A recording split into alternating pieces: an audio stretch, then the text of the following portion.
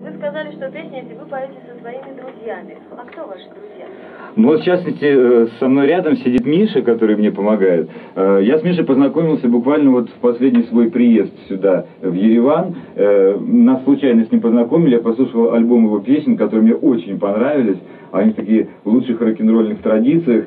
И, знаете, там нет катурнов, нет, а просто чистые, красивые, хорошие, умные песни. Вот, и я бы хотел сейчас, если это возможно, чтобы Миша одну из своих песен спел.